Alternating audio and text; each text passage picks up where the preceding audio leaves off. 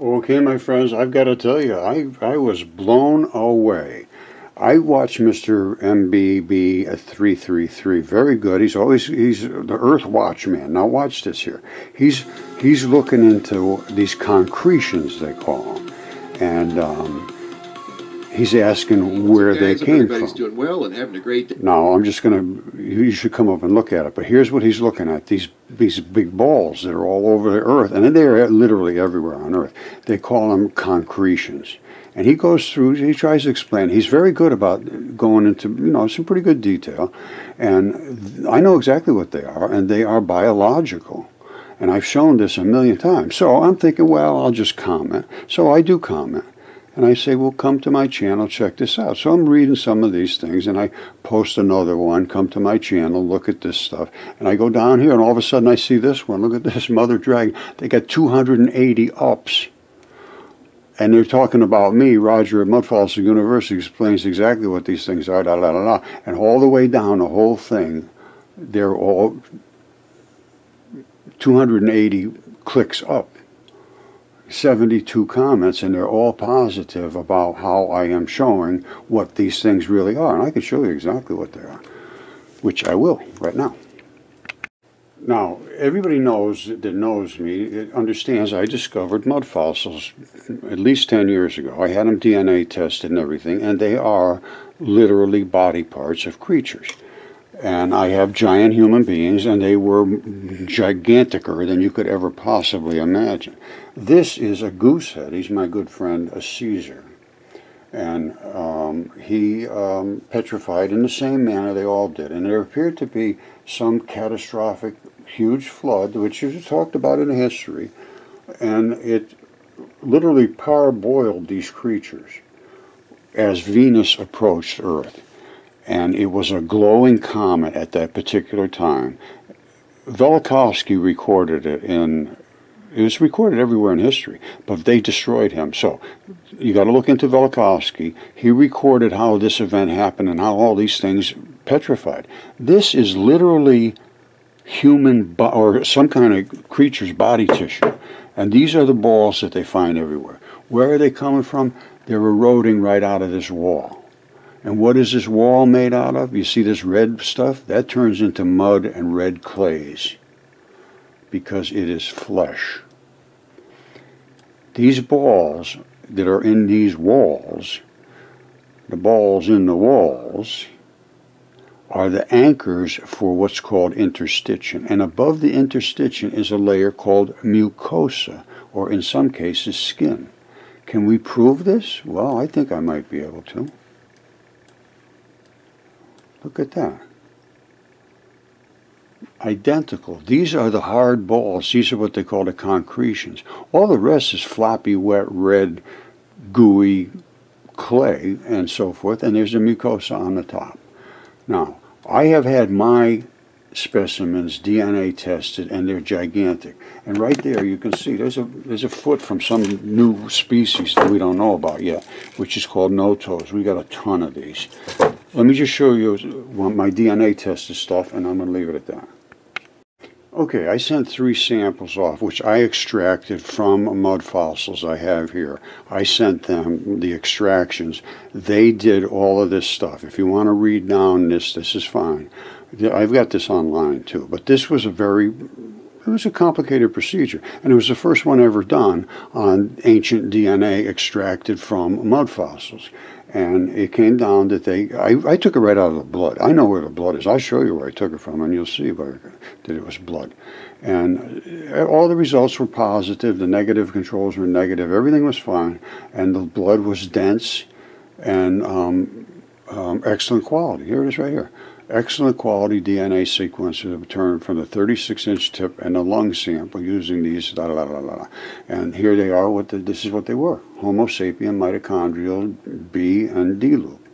And um, again, this was a certified test, certified lab, and they stand behind their results. You just have to understand, I was the one that sent them the extractions. If I sent them lies and fraud, well, then I'm a liar and a fraud. That's not the case.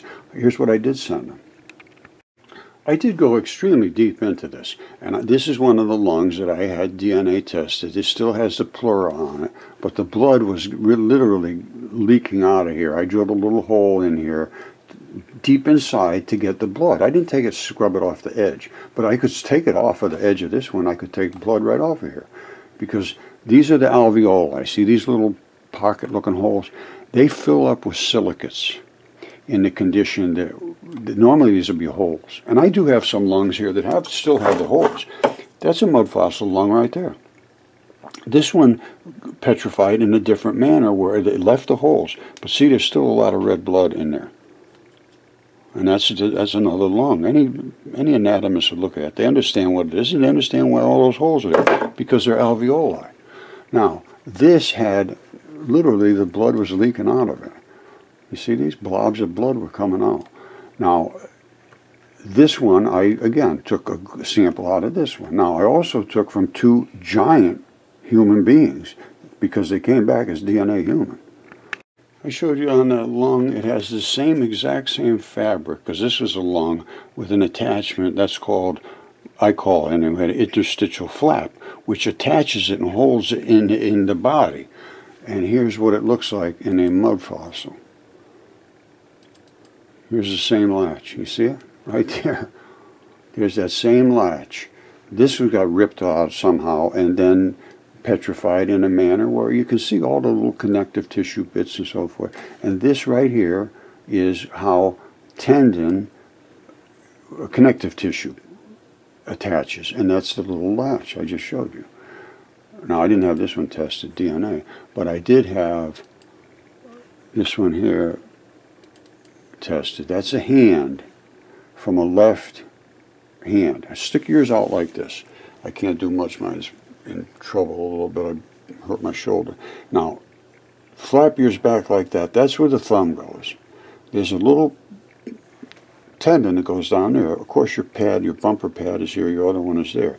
This is broken off right about up here, just before the knuckles start to go out with the fingers. And I have the fingers. I have fingertips and knuckles, and I, I have a lot of stuff from this particular one. Now, what I want you to look at, because I'm going to show you another one in a second, is this we see the architecture of the hand. That's the little cleave that's right in between the big pad and the little pad on your hand. You see this silver stuff? It looks like somebody painted it on there and it's peeling off. You see it? It's all across here. It's all across this pad of the guy's hand. And now it's peeling off. The reason is that's what's called friction skin, grip skin. I call it grip skin. I don't know, call it whatever you want. But it's a different type of skin. It's extremely cornified, tough, very little blood. So I had to go into the muddy depths of this. This did not preserve quite as well as the other ones. The other ones were really like absolutely flawless. You saw the lung. I'm going to show you the fingertip, which was 36 inches long, just the tip of the finger. Now, I am extremely into anatomy. I work with anatomists. I have one of the best anatomy books in the world. And it shows exactly what this is which is a fingertip. And there's a little pad that goes between each bone on your fingers so that they can rock against each other.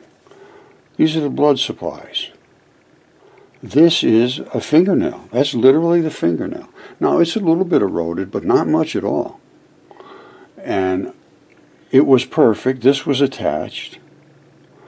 And I could see that I couldn't get any blood off. There was no real blood showing on the edges because obviously er, they get eroded. They're out in the weather. But you get inside, whole different issue, a way different issue. So I can see what I see, and then I look on the other side, and it's still got the fingerprints on it. Let me show you that. And again, this is grip skin on the other side. Before we go there, remember this. This that's where I smacked it with a hammer. It just peeled right off like it was stuck with Velcro. All right, you remember I showed you that big hand and all the stuff was peeling off, the silver looking stuff? That's this right here. This is highly keratinized, basically dead skin that's really like leather. And it's literally glued on here with these little bumps. And when I smacked it with the hammer, it just peeled right off. It doesn't have any hard attachment. That's why the other ones are peeling off that hand. You see this? These are the sweat pores. These are the fingerprint ridges. And here they are right here. Exact same thing. Now, I went down inside here, a ton of blood in fingers, tons of blood in fingers. And I took absolutely flawless, clean blood, and that's why I said excellent quality. Okay, I'm hoping Mr. MBB333 will contact me back. I love concretions. They're not concretions, they're tendon balls. I think I've shown this pretty well. And I can explain all of the what they call basalt columns. They're not basalt columns. Let me just show you that real quick. Mr. MBB, call me, buddy. Call me. Okay, this should be a mind blower. Every tendon ball, which I we were just looking at, these tendon balls that are all over the earth, was attached at one point by a fiber. Let me show you how many fibers are included in a tendon. You see this? every one of these had a ball on the end of it because every one of these fibers had to be secured. There's where we are now, right here. They just kept getting until you get bundles of them back here. We see bundles of them as Devil's Tower, Giant's Causeway, all over Iceland. These were creatures. The whole earth was made of creatures. It just needs to be explored now. And that's what I'm coming up with for facts in my world. Now, if Mr. MBB will talk to me, we're going to open this up and see what people can, can respond. It's time we get it open. I have been shut down in every. Well, hold on a second. Wait till I show you this. You know, I'm always complaining. I'm shut down everywhere. Nobody listened to me. Well, I was going to put this up just to rant a little bit, so I'll do it now. Listen. See what happens when I try to post. because uh, the geologists, well, they hate me in every one of them. Look here, your comment was removed from archaeology and civilization. Just a comment. Comment was removed from geology world. Another just a simple comment. You temporarily can't post in the secrets of vibration. Just another comment. They won't let me talk anywhere. This is what I run into every single day, and I've almost never had any response from anyone. Although I did just get one today from New York University, and I'm hoping that they will continue to respond. I'd be very, very happy if that happens. All right, anyway, um, Mr. MBB, buddy, get it back to me, my friend. All right, I'll, I'll, um, I'll hope to hear from you.